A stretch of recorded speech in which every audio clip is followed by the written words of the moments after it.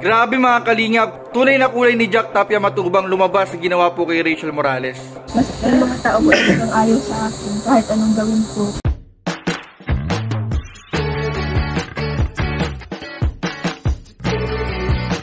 Si Kuya, si Kuya Jens, ano yan, reactor natin yan.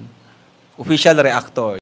Mga kalingap, magandang araw po sa inyong lahat. This is Square Gents and welcome back to my YouTube channel. Sa mga bago po sa YouTube channel, huwag niyo pong kalimutang mag-subscribe at click the bell button para like update sa mga bago upload na video. At huwag po natin kalimutan suportahan ng buong team Kalingap sa pangunguna ni Kuya Val Santos Matubang, Ate Edna Vlog at syempre Kalingap Rob.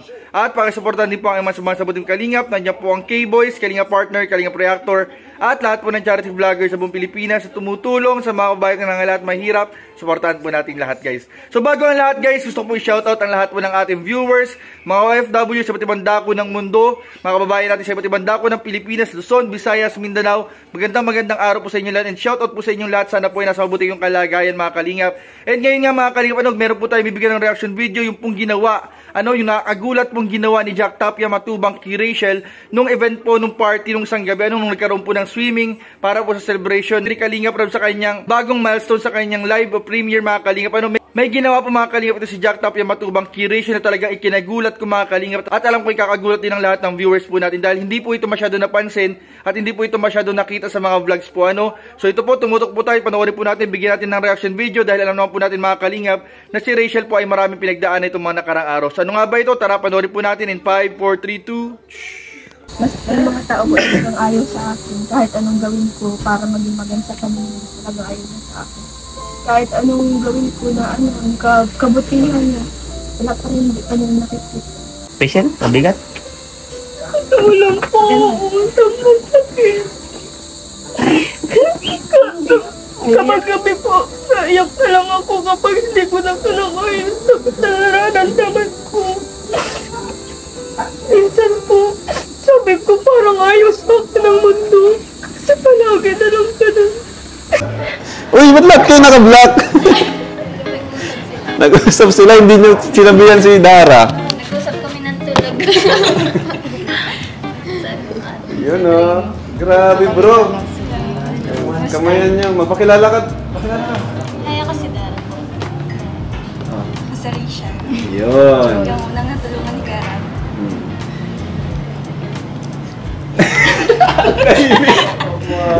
Mga kalingap, nakita nga po natin mga kalingap na grabe po ang pinagdaanan ni Rachel Morales nung mga nakarang araw po isa na nga po dyan. Yung mga pambabash po sa kanya ng kanyang mga bashers na talagang hindi po niya kinakaya dahil po sobrang below the belt na po yung mga pambabash sa kanya at yung mga salita talagang hindi na po matanggap at talagang kahit yung kanyang pamilya at, at yung pagiging MU po nila ni Ruel Malalag ay talagang naapektuhan at hindi pinapatawad ng mga bashers po kaya talagang sobra na po yung pinagdaanan ni Rachel nung mga nakaraang araw. Pero mga kalingap dahil nga po sa Team Kalingap sa tulong po ng ating mga ibang prinsesa ay nakahanap po ng bagong mga kaibigan itong si Rachel na madadamayan po niya at makakasama po niya at sa oras po na kailangan po niya ng karami mga kalingap. Ano, sa nakaraang party po, ano, sa nakaraang celebration po ni Kalinga Prab ay nagkausap rin po sila at binigyan rin po siya ng payo ni Kalinga Prab bilang pagpapakita po ng suporta sa kanya ng kanyang Kuya Rab at ng lahat ng Team Kalinga. So ito panoorin po natin yung, yung naging usapan po nila bago naganap po yung ginawa ni Jack talaga na agulat. So tara panoorin po natin mga Kalinga. Grabe, palagi kong sinasabi na sobrang proud ako kay Rachel. Lalo na nung papanood ko yung mga vlog niya. Ang galing. Ang galing din si Rachel na vlog. Ang galing din mag-edit. Ikaw talaga nag-edit nun? Ang galing. Kasi may humor siya.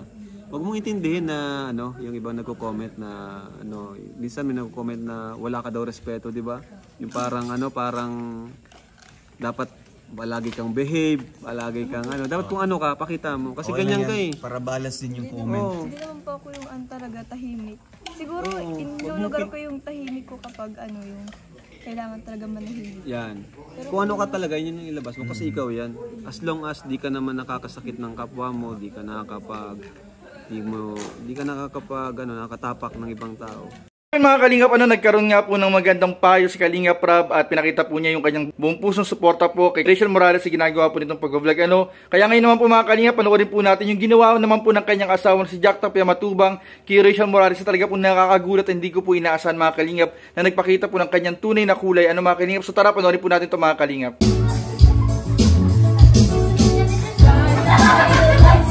My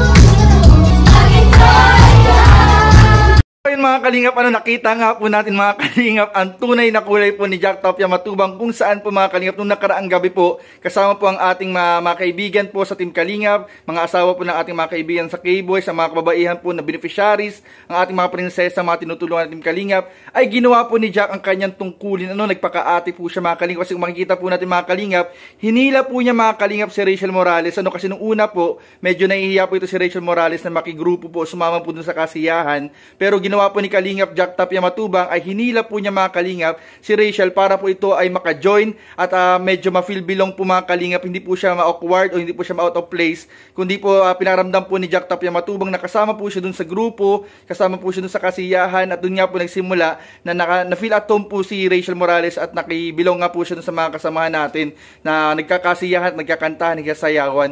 Kaya po ang ganda po ng ginawa mga Kalingap ni Jack Tapia Matubang kasi siya po yung nag-aasikaso sa ating mga kababaihang mga beneficiaries yung ginawa nga rin po niya kay Dara dati nung birthday po ni Erica na ito po yung nagpahiram po ng damit, ito rin po yung nag-makeup kay Dara ng libre mga kalingap ano.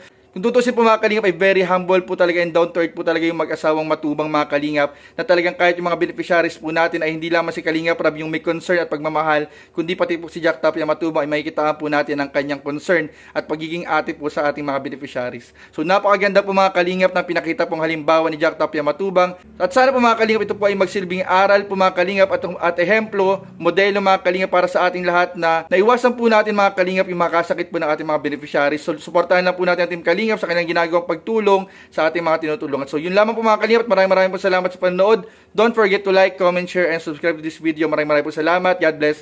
Bye-bye.